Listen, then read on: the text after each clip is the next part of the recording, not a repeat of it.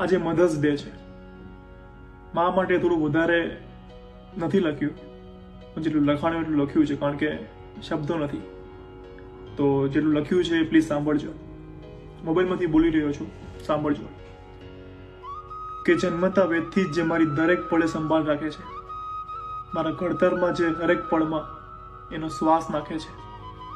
એના જીવનની દરેક ક્ષણ મારા માટે છે. પીવડાવતા મને અમૃત પણ એ પેલા બે વાર ચાખે છે. અભણ ભલે છે, તો પણ મારા દુઃખ ગણી લે છે. રોટલી માંગુ એક, તો આખી થાળી પીરસી દે છે. મને હસતો જોઈએ આખા બ્રહ્માંડનો આનંદ પામે છે. લાગે છે લાગણીનો દરિયો કે હેતની ગંગા હૃદયમાં રાખે છે. જમવાનું ઘટ્યું હોય તો પેટ ભરાઈ ગયું છે એમ ખોટું બોલીને ખુદ ભૂખી રહે છે અને મારું પેટ ભરે છે. ફક્ત દસ પાસ જ છે. છતાં મારું નસીબ લખી દે છે. પોતાની ઊંઘ બગાડી મને ખોળામાં સુડાવી દે છે. પોતાના માટે કંઈ લેતી નથી અને મને કંઈ ઘટવા નથી દેતી. આ તો મારી માં છે. મારા માટે કંઈ પણ કરી શકે છે. કેટલોય ગુસ્સો કર્યો હશે મેં એની સામે.